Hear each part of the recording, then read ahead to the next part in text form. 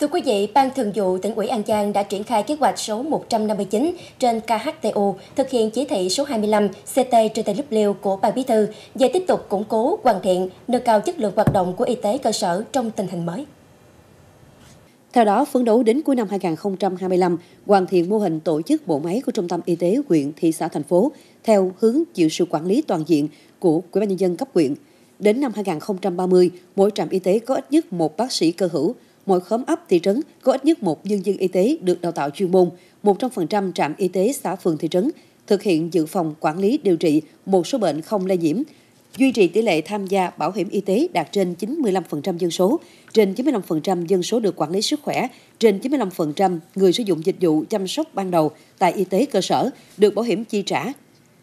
100% xã đạt bộ tiêu chí quốc gia về y tế xã, đồng thời nâng cao chất lượng hiệu quả hoạt động của y tế cơ sở với quan điểm y tế cơ sở là nền tảng phát triển vững chắc hệ thống y tế cơ sở, xây dựng mạng lưới y tế rộng khắp gần dân, duy trì, nâng cao sức khỏe cũng như chăm sóc sức khỏe ở cấp độ cơ bản, chuyển trọng tâm giải quyết bệnh tật sang chăm sóc sức khỏe toàn diện, lồng ghép và liên tục suốt đời, chú trọng giải quyết các vấn đề nguy cơ ảnh hưởng đến sức khỏe. Ban Thường vụ tỉnh ủy An Giang yêu cầu các huyện ủy, thành ủy, đảng ủy trực thuộc có trách nhiệm tổ chức quán triệt đầy đủ nội dung chỉ thị số 25 và các nhiệm vụ giải pháp thực hiện đảm bảo thiết thực và hiệu quả, xác định rõ trách nhiệm của cấp ủy chính quyền trong lãnh đạo chỉ đạo triển khai thực hiện. Sáng nay, Ban Chỉ huy quân sự huyện Châu Thành tổ chức luyện tập chuyển trạng thái sẵn sàng chiến đấu. Quá trình luyện tập gồm các nội dung thứ tự hành động của kiếp trực ban, trực chỉ huy, nhận và ra lệnh chuyển trạng thái sẵn sàng chiến đấu từ cao lên toàn bộ, hành động của chỉ huy, nghe cơ quan báo cáo đề đạt, phổ biến kế hoạch cơ động lực lượng trong chuyển trạng thái sẵn sàng chiến đấu, quán triệt mệnh lệnh, chuyển trạng thái sẵn sàng chiến đấu, thực hành di chuyển cơ quan ban chỉ huy quân sự quyện ra khu căn cứ gia định. Công tác luyện tập được ban chỉ huy quân sự quyện chuẩn bị chu đáo, đảm bảo đầy đủ các văn kiện theo hướng dẫn khung tập, nên các đơn vị đã tiến hành luyện tập khá nhuần nhuyễn theo kịch bản, thực hiện hành động chính xác theo trình tự, nắm chắc tình hình để nghiên cứu và tổ chức tác chiến theo đúng yêu cầu đề ra.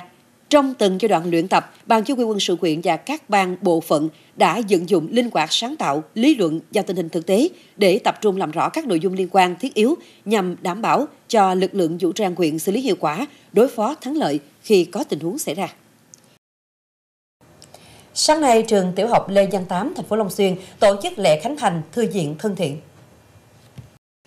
Năm học 2023-2024, từ nguồn kinh phí của thành phố, nhà trường đã thiết lập xây dựng thư viện thân thiện, một mô hình đổi mới giáo dục theo định hướng phát triển năng lực học sinh. Hiện nay, thư viện của trường có khoảng trên 4.500 đầu sách với diện tích 92 m2, tổng kinh phí thực hiện trên 93 triệu đồng. Trong đó, tổ chức Room to Read đã hỗ trợ về chuyên môn, tư vấn lựa chọn vật phẩm giáo dục cho phù hợp với mục đích hoạt động của thư viện thân thiện.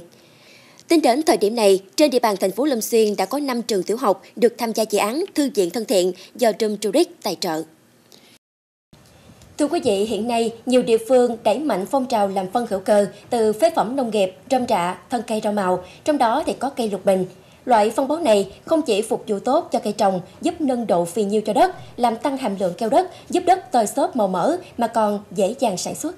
Với ý nghĩa đó, năm 2023, Trung tâm Công nghệ Sinh học thuộc Sở Khoa học và Công nghệ tỉnh An Giang đã xây dựng quy trình sản xuất phân hữu cơ từ nguyên liệu lục bình kết hợp với phụ phẩm nông nghiệp như phân bò và rơm rạ và thử nghiệm hiệu quả trên rau màu nhằm tạo ra phân hữu cơ phục vụ nhu cầu sản xuất của nông dân. Đây là đề tài thực hiện nhiệm vụ khoa học công nghệ cấp cơ sở năm 2023 thuộc chương trình khoa học công nghệ nông thôn mới tỉnh An Giang đến năm 2025.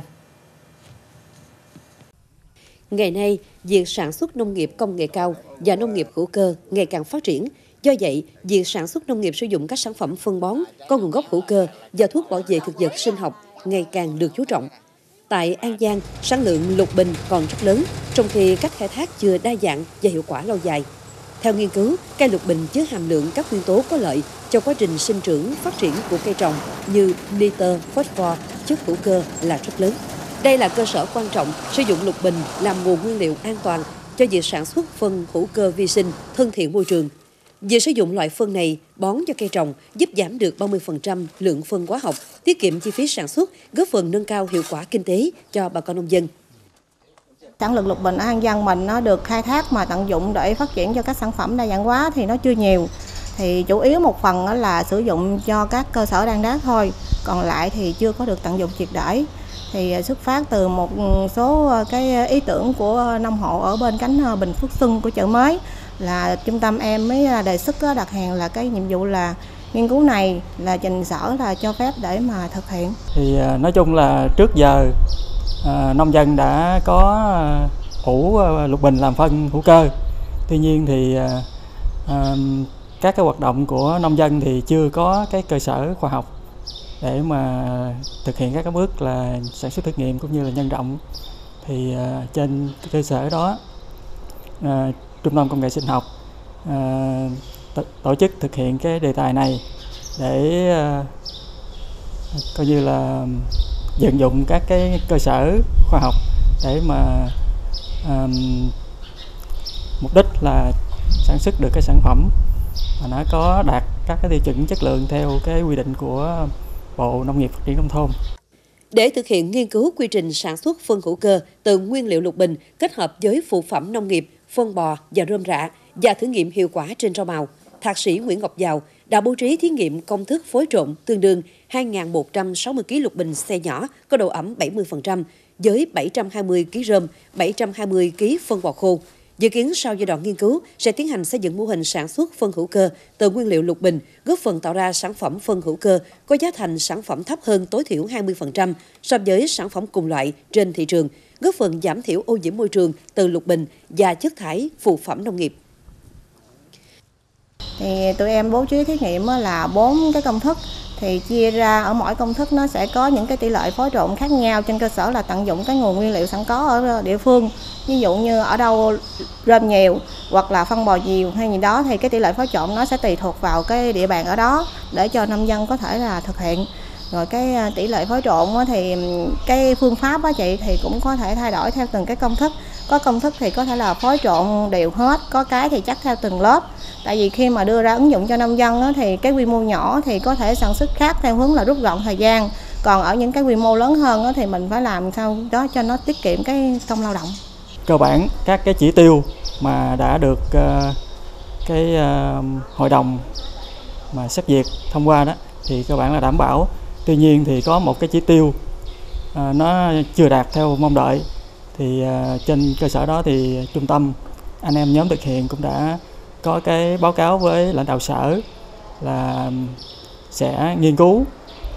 bổ sung một cái thí nghiệm để mà đảm bảo được cái chỉ tiêu mà chưa đạt theo cái quy chuẩn của Bộ Nông nghiệp Phát triển nông thôn. Bước đầu đang thực hiện nội dung 1, các thông số đánh giá về pH, độ ẩm và nhiệt độ đang được theo dõi. Theo Trung tâm Công nghệ Sinh học, đề tài nghiên cứu thành công sẽ có tính ứng dụng cao trong sản xuất nông nghiệp, có thể thay thế phần nào phân bón hóa học cho nông dân ở các vùng canh tác nông nghiệp tại An Giang, góp phần xử lý và tận dụng nguồn phụ phẩm từ nông nghiệp, hướng đến một nền nông nghiệp xanh, sạch, an toàn và bền vững.